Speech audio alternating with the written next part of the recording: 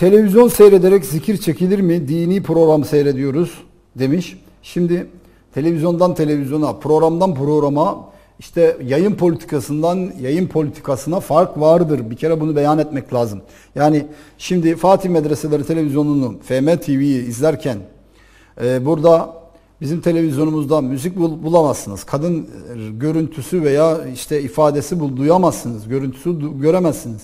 Artı olarak yani bir e, Allah'tan bahsedilen, peygamberden bahsedilen böyle programlarda tabii ki elinde bir yandan tesbih çekerek, zikir yaparak e, nedir? E, bunu seyredemekte bir sakınca yok. Ama adı dini program veya adı işte İslami televizyon adıyla ortaya çıkıp da her türlü enstrümantalle birlikte her tü- her türlü enstrümantal aletleriyle e, ilahi adı altında ama tabiri caizse göbek havası, tavarına havasında e, müzikleri kullanan ve bunu da işte Yunus Emre'den, e, Mevlana'dan şiirler e, işte e, ilahiler oku- okuyoruz diye bahane eden şeyler olursa bunlar da olmaz tabii. Ama e, senin zaten dinlediğin, gördüğün şeyler seni Allah'tan uzaklaştırmıyor, Allah'a yaklaştıracak ve Allah'ın razı olduğu bir ortam o televizyonda sunuluyor sunulurken senin de elinle, kalbinle, dilinle Allah'ı zikretmende bir